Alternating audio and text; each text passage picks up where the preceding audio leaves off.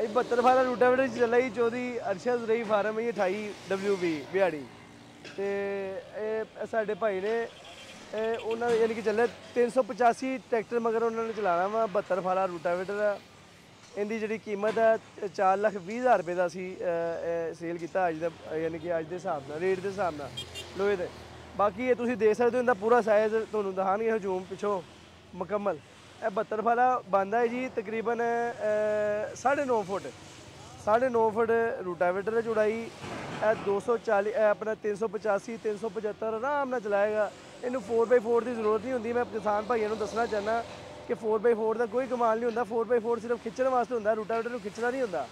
Rotavator ਦੇ PTO shaft ਚੱਕਰ ਚਲਾਉਂਦੀ ਹੈ ਤੇ ਪੀ- ਬਲਕਿ ਆਪ ਧੱਕਾ ਮਾਰਦਾ ਟਰੈਕਟਰ ਨੂੰ। ਜਿਵੇਂ ਪੀਟੀਓ ਸ਼ਾਫਟ ਘੁੰਮਦੀ ਹੈ ਨਾ, ਅੱਗੇ ਨੂੰ ਆਪ ਧੱਕਾ ਮਾਰਦਾ, ਇਹਨੂੰ ਸਿਰਫ ਪੀਟੀਓ ਸ਼ਾਫਟ ਦਾ ਕੰਮ ਹੁੰਦਾ। ਇਹਨੂੰ ਕਮਾਉਣ ਦਾ ਇਹਨੂੰ ਚਲਾਉਣ ਦਾ ਕੋਈ ਯਾਨੀ ਕਿ ਅ, ਖਿੱਚਣ ਦਾ ਨਹੀਂ ਕੋਈ ਰੋਲਾ ਹੁੰਦਾ। ਇਸ ਵਾਸਤੇ 385 two wheel drive 75 two wheel drive ਇਹਨੂੰ ਆਰਾਮ ਨਾਲ ਚਲਾਉਂਦਾ ਵਾ। ਇਹਨੂੰ ਭਲਾ ਮੂੰਜੀ ਦੇ ਵੱਢ ਤੇ ਚਲਾਓ। ਮੈਂ ਦੁਬਾਰਾ ਤੁਹਾਨੂੰ ਕਹਿ ਰਿਹਾ ਤੁਹਾਡੇ ਤੁਹਾਡੇ ਵਾਸਤੇ ਹੈ ਇਨਸ਼ਾਅੱਲਾ ਇਨਫੋਰਮੇਸ਼ਨ ਦੋ ਮੂੰਜੀ ਦੇ ਵੱਢ ਤੇ ਚਲਾਓ ਮੱਕੀ ਦੇ ਬੈੱਡ ਦੇ ਉੱਪਰ ਚਲਾਓ। ਜਾਂ ਤੁਸੀਂ ਇਹਨੂੰ ਯਾਨੀ ਕਿ ਆਮ ਹੱਲ ਮਾਰ ਕੇ ਚਲਾਓ। ਤੁਹਾਡਾ ਕਿਸੇ ਕਿਸਮ ਦਾ ਵੀ ਲੋਡ ਨਹੀਂ। ਪਏਗਾ ਤੇ ਡੀਜ਼ਲ ਦਾ ਖਰਚਾ ਘਟਾਏਗਾ। ਅਗਰ ਤੁਸੀਂ ਮਕ- ਮਕਈ ਦੇ ਵੱਢ ਤੇ ਇਹਨੂੰ ਰੂਟਾਵੇਟਰ ਨੂੰ ਪਾਉਂਦੇ ਹੋ, ਤੇ ਸਵਾ ਚਾਰ ਲੀਟਰ 4.5 ਲੀਟਰ ਡੀਜ਼ਲ ਦਾ ਖਰਚਾ ਹੁੰਦਾ ਸਾਡਾ। ਇਹ ਜ਼ਿਮੀਦਾਰ ਭਾਈ, ਤੁਸੀਂ ਸਾਨੂੰ ਦੱਸਿਆ ਵਾ, ਅਲਹਮਦੁਲਿਲਾ, ਤੁਸੀਂ ਸਾਨੂੰ ਦੱਸ ਦਿਓ ਕਿ ਇੰਨਾ ਖਰਚਾ ਸਾਡਾ ਆਇਆ ਜੈਨ ਭਾਈ, ਬਹੁਤ ਸ਼ੁਕਰੀਆ। ਅੱਛਾ, ਇਹ- ਇਹਦੀ ਜਿਹੜੀ ਜ਼ਰੂਰੀ ਚੀਜ਼ਾਂ ਵਾ, ਇਹਦੇ ਸਾਡਾ ਸੀਐਲ ਅਸੀਂ ਪਾਇਆ ਹੁੰਦਾ ਵਾ 2 ਲੀਟਰ, ਉੱਪਰਲੇ ਹਾਂਡੇ ਤੇ। ਪਰਲੀ ਸਾਈਡ ਤੇ ਇੱਕ ਛੋਟਾ ਟਾਪਾ ਜੀ, ਇਹਦੇ ਤੇ ਅਸੀਂ ਪਾਉਂਦੇ ਹਾਂ ਲੀਟਰ 1 ਲੀਟਰ। ਇਹ ਡਿਜ਼ਾਈਨ ਅਸੀਂ ਚੇਂਜ ਕੀਤਾ ਵਾ। ਦੂਜੀ ਸਾਈਡ ਤੇ ਇੱਕ ਜਿਹੜਾ ਟਾਪਾ ਵੱਡਾ ਵਾ, ਉਹਦੇ 'ਚ 3.5 ਲੀਟਰ ਸੀਐਲ ਪਾਉਂਦੇ ਹਾਂ। ਪਹਿਲੇ ਇਸ ਤਰ੍ਹਾਂ ਹੁੰਦਾ ਸੀ ਕਿ ਸੀਐਲ ਪਾ ਕੇ ਨਾ ਅਸੀਂ ਕਹਿੰਦੇ ਸੀ ਕਿ ਯਾਰ ਤੁਸੀਂ ਨਾ 5 ਏਕੜ ਚਲਾ ਕੇ ਨਾ ਸੀਐਲ ਬਦਲ ਲਓ। ਅਸੀਂ ਲੇਕਿਨ ਹੁਣ ਐਤਕੀ ਸੀਐਲ ਦਾ ਇੰਤਖਾਬ ਜ਼ਰਾ ਹੈਵੀ ਕੀਤਾ, ਅੱਛਾ ਕੀਤਾ। ਉਹ ਸੀਐਲ ਅਸੀਂ ਜਿਹੜਾ ਪਾ ਰਹੇ ਸਾਨੂੰ, ਅਸੀਂ 2 ਸਾਲ ਦੀ ਤੁਹਾਨੂੰ ਗਾਰੰਟੀ 2 ਸਾਲ ਤੁਸੀਂ ਚਲਾਓ ਇਹਨੂੰ।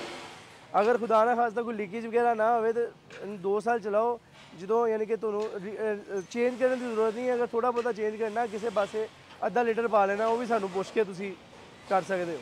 ਉਸ ਤੋਂ ਇਲਾਵਾ ਇਹਨੂੰ ਅਸੀਂ ਅੱਪੜ ਕਈ ਲੋਕ ਕਹਿੰਦੇ ਜੀ ਅਸੀਂ ਬੈੱਡ ਦਾ ਹਿਸਾਬ ਹੁੰਦਾ ਸਾਡਾ, ਵੱਟਾਂ ਦਾ ਹਿਸਾਬ ਹੁੰਦਾ ਵਾ ਜੀ, ਵੱਟਾਂ ਦੇ ਹਿਸਾਬ ਨਾਲ ਅਸੀਂ ਰੂਟਾਵੇਟਰ ਬਣਾਉਣਾ ਵਾ, ਇਹਦਾ ਕੋਈ ਕੰਮ ਨਹੀਂ।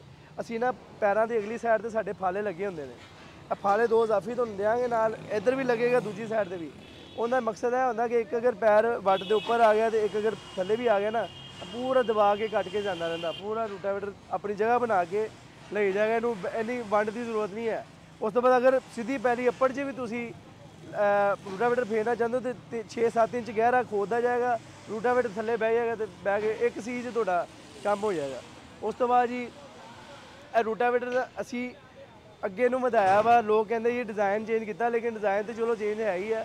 ਲੇਕਿਨ ਇਹਦਾ ਜਿਹੜਾ ਮੇਨ ਬੇਸਿਕ ਬੈਨੀਫਿਟ ਹੈ ਨਾ ਇਹ ਤੁਹਾਨੂੰ ਦੱਸਦੇ ਹਾਂ, ਇੱਧਰ ਆਓ ਜਰਾ ਇਸ ਸਾਈਡ ਤੇ। ਇਹਦਾ ਬੈਨੀਫਿਟ ਹੈ ਕਿ ਅਸੀਂ ਕ੍ਰਾਸ ਸ਼ਾਫਟ ਦਾ ਤੇ ਪੀਟੀਓ ਸ਼ਾਫਟ ਦਾ ਨਾ ਜੀ ਫਾਸਲਾ ਜ਼ਿਆਦਾ ਕੀਤਾ ਵਾ। ਟੈਕਨੀਕਲੀ ਤੌਰ ਤੇ ਫਾਸਲਾ ਇਸ ਵਾਸਤੇ ਜ਼ਿਆਦਾ ਕੀਤਾ। ਆਮ ਰੂਟਾਵੇਟਰ ਜਦੋਂ ਬਿਲਕੁਲ ਕ੍ਰਾਸ ਸ਼ਾਫਟ ਗੋਲ ਹੁੰਦੀ ਸੀ ਨਾ, ਜਦੋਂ ਚੁੱਕਦੇ ਸੀ, ਹਲਕਾ ਚੁੱਕਦੇ ਸੀ ਕ੍ਰਾਸ ਟੁੱਟਦਾ ਸੀ, ਇਹ ਧੱਕਾ ਮਾਰਦਾ ਸੀ, ਟੁੱਟ ਜਾਂਦਾ ਸੀ। ਹੁਣ ਇਹਦਾ ਕੀ ਜਿੰਨਾ ਫਾਸਲਾ ਜ਼ਿਆਦਾ ਹੈਗਾ, ਇਹਨੂੰ ਆਪਾਂ ਚੱਲਦੇ ਚੱਲਦੇ ਵੀ ਚੁੱਕ ਸਕਦੇ ਹਾਂ। ਸਾਡਾ ਕ੍ਰਾਸ ਨਹੀਂ ਟੁੱਟੇਗਾ, ਸਾਡਾ ਗੇਅਰ ਬਚਤ ਬਚ ਜਾਏਗਾ ਤੇ ਟਰੈਕਟਰ ਦੀ ਪੀਟੀਓ ਸ਼ਾਫਟ ਬਚੇਗੀ। ਇਹ ਅਸੀਂ ਸਾਡਾ ਇੱਕ ਰੂਟਾਵੇਟਰ ਤੁਹਾਨੂੰ ਮੈਂ ਵੀਡੀਓ ਇਨਸ਼ਾਅੱਲਾ ਉਹ ਵੀ ਪਾਵਾਂਗਾ। ਉਹ ਅਗਲੀ ਸਾਈਡ ਤੇ ਹੱਲਾਂ ਲੱਗੀਆਂ ਹੁੰਦੀਆਂ ਸਾਡੇ। ਜਿਸ ਤਰ੍ਹਾਂ ਅੱਗੇ ਨੌ ਹੱਲਾ ਵਾ, ਪਿੱਛੇ ਰੂਟਾਵੇਟਰ ਹੁੰਦਾ ਵਾ, ਇੱਕ ਦੀ ਨਾ ਦੋ, ਉਹਦਾ ਗਰਾਸ ਇਸ ਤੋਂ ਵੀ ਜ਼ਿਆਦਾ ਲੰਮਾ ਹੁੰਦਾ। ਯਾਨੀ ਕਿ ਇਹ ਤੇ 6 ਇੰਚ ਵਧਾਇਆ, ਉਹ 20 ਇੰਚ ਅੱਗੇ ਵਧਿਆ ਹੁੰਦਾ। ਉਹ ਲੰਬਾ ਗਰਾਸ, ਉਹਨੂੰ ਅਗਰ 10 ਸਾਲਾਂ ਬਾਅਦ ਵੀ ਤੁਸੀਂ ਖੋਲੋਗੇ ਨਾ ਰੂਟਾਵੇਟਰ ਨੂੰ, ਉਹ ਇਸ ਤਰ੍ਹਾਂ ਹੀ ਹੋਏਗਾ ਜਿਸ ਤਰ੍ਹਾਂ ਅੱਜ ਹੀ ਫਿੱਟ ਕੀਤਾ ਹੈ ਉਹਦਾ ਸਿਸਟਮ ਕਿਉਂਕਿ ਵਾਈਬ੍ਰੇਸ਼ਨ ਨਹੀਂ ਧੜਕਾ ਨਹੀਂ ਹੈ, ਚੱਲਦੇ ਚੱਲਦੇ ਚੁੱਕ ਲਓ, ਚੱਲਦੇ ਚੱਲਦੇ ਥੱਲੇ ਰੱਖ ਲਓ, ਇਹਨੂੰ ਘੁੰਮਦਾ ਪਿਆ। ਉਸ ਤੋਂ ਬਾਅਦ ਸਾਡੇ ਰੂਟਾਵੇਟਰ ਜੀ ਐਸਾ ਧੜਕਾ ਨਹੀਂ ਮਾਰਨਗੇ। ਯਾਨੀ ਕਿ ਤੁਸੀਂ ਚੁੱਕਿਆ ਨਾ, ਇਹਨੂੰ ਘੁਮਾ ਰਹੇ ਹੋ, ਥੱਲੋਂ। ਤੇ ਰੂਟਾਵੇਟਰ ਇਸ ਤਰ੍ਹਾਂ ਨਹੀਂ ਕਰੇਗਾ। ਇਹ ਵੀ ਤੁਹਾਨੂੰ ਮੈਂ ਥੋੜਾ ਸ਼ਾਰਟ ਮੈਂ ਵੀਡੀਓ ਤੇ ਪਾਵਾਂਗਾ। ਸਾਡਾ ਰੂਟਾਵੇਟਰ ਐ ਸਾਈਡ ਬਿਲਕੁਲ ਰਿਲੈਕਸ ਹੋ ਕੇ ਚੱਲੇਗਾ। ਉਸ ਤੋਂ ਬਾਅਦ ਜੀ ਸਾਡੇ ਰੂਟਾਵੇਟਰ 'ਚ ਤੁਸੀਂ ਜਦੋਂ ਕੱਦੂ ਕਰਨਾ ਵਾ ਫਰਜ ਮਾਰਨਾ ਵਾ, ਇਹਨੂੰ ਫਰਜ ਮਾਰ ਕੇ ਇੱਕ ਵਾਰੀ ਧੋ ਕੇ ਆਪਣੇ ਸ਼ੈੱਡ ਤੇ ਰੱਖੋ। ਸਲੀ ਨਾਲ ਇਹਨੂੰ ਗੰਦਾ ਮੰਦਾ ਨਾ ਰੱਖੋ, ਕਿਉਂਕਿ ਲੀਕੇਜ ਨਹੀਂ ਸਾਡੇ ਹੋਏਗੀ। 2 ਸਾਲ ਬਾਅਦ ਵੀ 3 ਸਾਲ ਬਾਅਦ ਵੀ ਅਗਰ ਰੂਟਾਵੇਟਰ ਤੇ ਤੁਸੀਂ ਦੇਖੋਗੇ ਨਾ, ਸਾਡੇ ਸੀਐਲ ਨਹੀਂ ਲੀਕ ਕਰਦਾ ਹੈਗਾ। ਇਹ ਨਹੀਂ ਆਮ ਰੂਟਾਵੇਟਰ ਹੁੰਦੇ ਨੇ। ਉਹ ਜਾਂਦੇ ਨੇ ਜਾਂਦੇ ਨਾਲ ਹੀ ਲੀਕੇਜ ਹੋ ਜਾਂਦੀ ਮਿੱਟੀ ਉਹ ਮਿੱਟੀ ਹੋ ਜਾਂਦਾ ਵਾ ਉਹਨੂੰ ਧੋ ਵੀ ਜਾਓ ਕਿਉਂਕਿ ਲੀਕੇਜ ਹੁੰਦੀ ਲੇਕਿਨ ਇਨਸ਼ਾਅੱਲਾ ਇਸ ਤਰ੍ਹਾਂ ਨਹੀਂ ਹੈ। ਅੱਲਾ ਦੇ ਫਜ਼ਲੋ ਕਰਮ ਨਾਲ ਇਨਸ਼ਾਅੱਲਾ ਬਿਹਤਰੀਨ ਚੰਗਾ ਸੋਹਣਾ ਕੰਮ ਕਰਦੇ ਹਾਂ ਅਸੀਂ ਇਹ ਤੇ ਬਿਹਤਰੀਨ ਤਰੀਕੇ ਨਾਲ ਕੰਮ ਹੁੰਦਾ। ਇਹ ਅਸੀਂ ਦੋ ਇਹ ਜਿਹੜੇ ਆਪਸ਼ਨ ਰੱਖੇ ਹੋਏ ਨਾ ਜੀ ਇਹ ਟਰੈਕਟਰਾਂ ਦੇ ਹਿਸਾਬ ਨਾਲ ਰੱਖੇ ਪੀਟੀਓ ਸ਼ਾਫਰ ਦੇ ਹਿਸਾਬ ਨਾਲ ਯਾਨੀ ਕਿ ਜਿਹੜਾ ਟਾਪ ਲੈਂਗ ਦੇ ਹਿਸਾਬ ਨਾਲ ਕਈ ਕਈਆਂ ਦੀ ਮੈਸੀ ਮਗਰ ਵੀ ਚਲਾਣਾ ਵਾ 240 ਮਗਰ ਵੀ 85 ਮਗਰ ਵੀ 60 ਮਗਰ ਵੀ ਅ, ਫਿਰ ਗਾਜ਼ੀ ਮਗਰ ਵੀ। ਜਿੱਥੇ ਜਿੱਥੇ ਐਡਜਸਟ ਆਂਦੀ ਹੈ ਜਿੰਦੀ ਟਾਪ ਉੱਥੇ ਲਾ ਸਕਦਾ ਵਾ। ਥੱਲੇ ਵਾਲਾ ਵੀ, ਉੱਪਰ ਵਾਲਾ ਵੀ ਜਿਸ ਤਰ੍ਹਾਂ ਐਡਜਸਟ ਜਿੱਥੇ ਸੈੱਟ ਆਂਦਾ ਉੱਥੇ ਜ਼ਰੂਰੀ ਨਹੀਂ ਕਿ ਉੱਤੇ ਹੀ ਪਾਣੀ ਪੈਣੀ ਹੈ, ਥੱਲੇ ਹੀ ਪਾਣੀ ਹੈ।